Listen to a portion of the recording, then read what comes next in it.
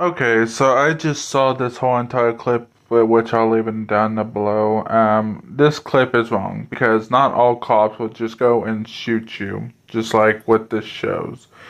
And I may get a lot of hate off of this, but the thing is, cops don't just shoot you just because you're trying to help somebody. And this is Hollywood stage. Now I'm going to tell you this way Hollywood is wrong about this because, yes, that there is some bad cops, don't get me wrong. But not all cops are going to go and shoot you just because you are trying to help somebody or they think you're trying to do something.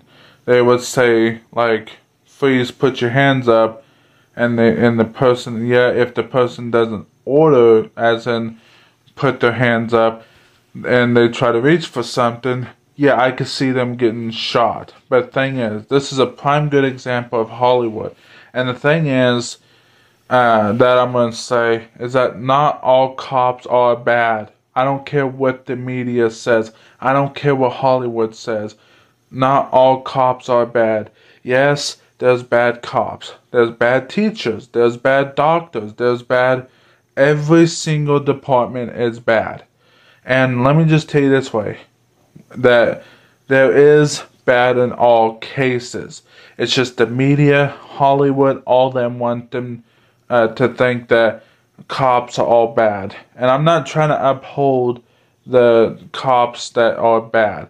I'm just saying that all not all cops are bad. So I don't know why somebody would post this because this is going to make it dramatized and make people more hate cops and that's not the case. So I don't know why someone had to put this on TikTok because not all cops are bad. So I'm just telling you guys right now.